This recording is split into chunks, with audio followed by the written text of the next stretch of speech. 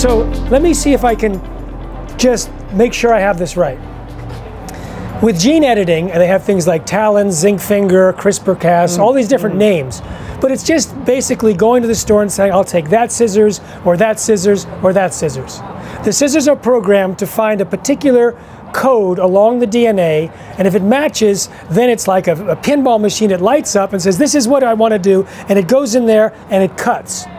Now that's the only thing you can engineer is where it finds it and where it cuts. They might make mistakes and cut in the wrong place because it might look similar, so there's mistakes there. It might cut in the place that you want, but the same formula on the DNA might be found in 10 or 20 or 30 other places, so it might cut a lot of places.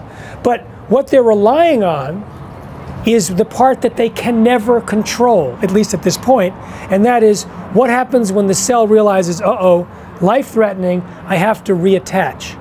So they don't have control as to what it brings in to that reattached DNA.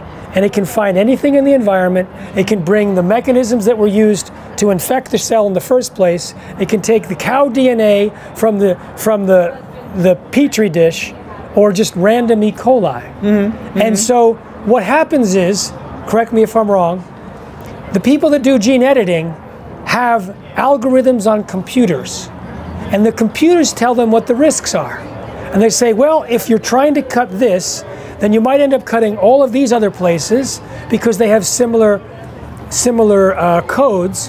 And we can live with that because we don't know of any real significance of those sections. If they get cut and rearranged, we don't think it'll be a problem for the organism. Maybe later they'll find out it is, but for now we think it's safe. So the entire safety argument is that the computer algorithms that they use tell them that it's safe. Mm-hmm. Mm-hmm. But there was a study that came out a year and a half ago which actually sequenced, they said, okay, what would the computer say about this mice genome? They said, oh, it would say, these are the things that would probably happen. When they actually sequenced it, it turns out there were hundreds or thousands of mutations up and down the DNA, almost none of which were predicted by the computer but you still have an entire industry that's driven by the computer model. And what does the computer model say? It's safe. So everyone says, my computer model says it's safe, therefore it's safe. When they actually do the sequence and said, guess what, guys? You have mutations you've never thought of, you never heard of, bigger than you thought of that would ever be predicted, smaller point mutations, many more than you thought of, any one of which can turn a harmless crop into a deadly one or turn into a, a, a poison for the animal